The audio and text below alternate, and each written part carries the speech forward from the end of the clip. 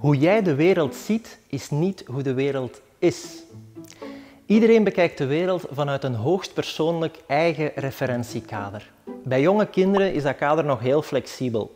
Bij pubers is dat al veel minder het geval en bij ons als volwassenen heb je een drillboor nodig om er nog iets aan te veranderen. En het evolueert ook veel trager.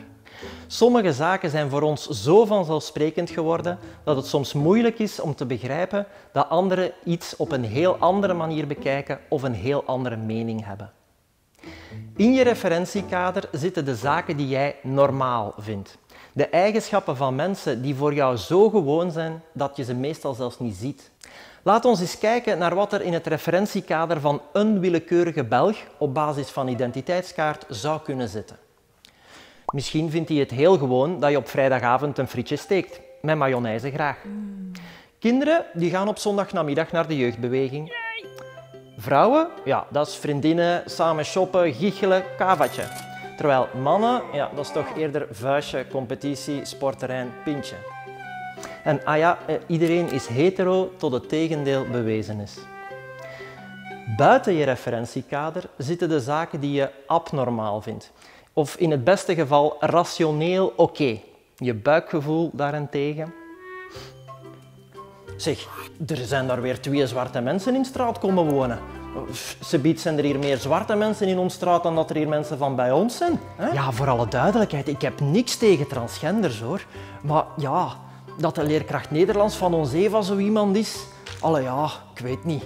Zeg, op die werf van u, dat is een vrouw dat met die kraan werkt. Ja, zolang dat er niet tegen mijn auto rijdt, is dat goed, hè. Dat was dus geen kuisvrouw, hè. Dat was de gynaecoloog. Schaamtelijk, joh.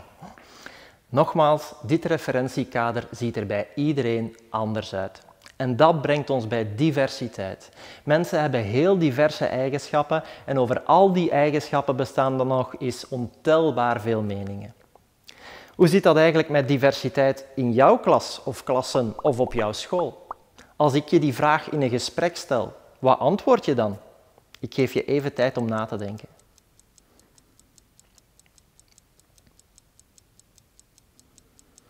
En de kans is groot dat je in gedachten de neiging had om er de specialekes uit te halen.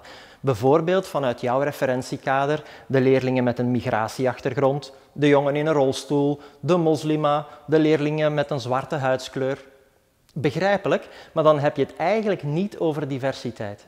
Dan heb je het over wat vanuit jouw persoonlijke referentiekader anders is. Om die valkuil te vermijden, bekijk je diversiteit best vanuit thema's. Neem nu levensbeschouwing. Je hebt op school vast katholieke jongeren, vrijzinnige jongeren, moslims enzovoort. Op vlak van huidskleur heb je kinderen met een witte, donkerdere, zwarte huidskleur. Als het gaat over seksuele oriëntatie heb je heteroseksuele en homoseksuele leerlingen op school. Op vlak van economische achtergrond heb je jongeren die opgroeien in een klein appartementje en anderen in een chique villa. En zo zijn er nog een pak meer thema's, vlakken waarop mensen op elkaar gelijken en van elkaar verschillen. Die diversiteit is trouwens evident, ze is er gewoon.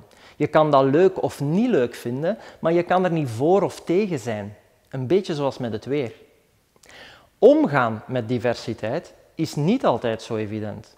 Is diversiteit een verrijking? Vaak ja, maar enkel als je weet hoe je ermee om kan gaan. En dan nog is het niet altijd gemakkelijk. Het zijn trouwens al je eigenschappen op deze vlakken en hoe je daarover denkt die bepalen wie jij bent, jouw identiteit. Die eigenschappen staan ook niet los van elkaar, ze beïnvloeden elkaar. Dat noemen we kruispuntdenken. Voorbeeldje. De levensbeschouwing die je aanhangt heeft een invloed op hoe je kijkt naar man, vrouw of geen van beide zijn. Omgekeerd zal je geslacht een rol spelen in hoe je je levensbeschouwing ziet. Je etnische achtergrond zal een invloed hebben op hoe je je seksuele oriëntatie ervaart en omgekeerd. En zo beïnvloeden eigenlijk alle aspecten van je identiteit elkaar. Niet alle aspecten wegen daarin wel even zwaar door. Sommige zijn belangrijker dan andere. En ook dat is dynamisch. Stel dat je een homoseksuele man bent, dan is je seksuele oriëntatie mogelijk een belangrijker deel van je identiteit wanneer je verliefd wordt of wanneer je te maken krijgt met holibi-negativiteit. Als je een zwarte homoseksuele man bent en je komt bijvoorbeeld te weten dat iemand vreselijk behandeld is enkel omwille van huidskleur, dan zal dat aspect mogelijk een tijd lang belangrijker voor je zijn. De aanleiding kan trouwens evengoed iets positiefs zijn, bijvoorbeeld een nieuw wetsvoorstel. Als je diversiteit en identiteit op deze manier bekijkt, dan bestaat de ander eigenlijk niet meer, tenzij in een voetbalwedstrijd. Iedereen verschilt op bepaalde vlakken van jou en lijkt op bepaalde vlakken op jou.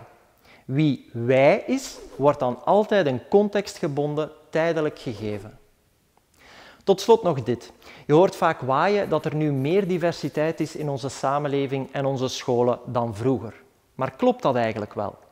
Het antwoord is dubbel. Enerzijds ja, als het bijvoorbeeld gaat over thema's als etnische origine en levensbeschouwing. Op die vlakken weten we uit cijfers dat ons land in de afgelopen decennia diverser is geworden. Maar anderzijds ook nee. Neem nu bijvoorbeeld genderidentiteit. We kunnen ervan uitgaan dat er nu evenveel cisgender en transgender mensen zijn dan vroeger.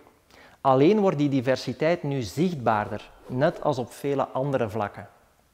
Dat komt doordat onze huidige gemiddelde maatschappelijke kijk op diversiteit heel anders is geworden. Vroeger streefden we naar uniformiteit. Alles wat anders was, moffelden we weg in gestichten of we deden simpelweg alsof het niet bestond. Nu streven we naar het tegenovergestelde. Iedereen volwaardig in alle diversiteit zichzelf laten zijn. Geen eenvoudige, maar wel een heel mooie opgave.